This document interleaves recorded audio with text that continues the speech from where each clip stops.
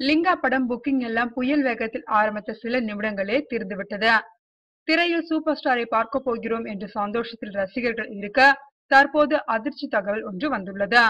சில நாட்களுக்கு முன் லிங்கா படத்தின் கதை தன்னுடையது என கூறி ரவிரத்னம் என்பவர் வழக்கு தொடர்ந்தார். இதைத் தொடர்ந்து இதற்கு ரஜினி கே. எஸ். ரவிக்குமார் கொடுத்த விளக்கம் முரண்பாடாக இருந்தது. இந்த நிலையில் நீதிபதி நிபந்தனையுடன் லிங்கா படத்தை ரிலீஸ் செய்யலாம் என அவர்கள் அறிவித்துள்ளனர். அதாவது நாளை பகல் பனிரெண்டு மணிக்குள் பத்து கோடி ரூபாயை நீதிமன்றத்தில் செலுத்தினால் லிங்கா படத்தை திரையிடலாம் என்று சென்னை உயர்நீதிமன்ற மதுரை கிளை தீர்ப்பளித்துள்ளது.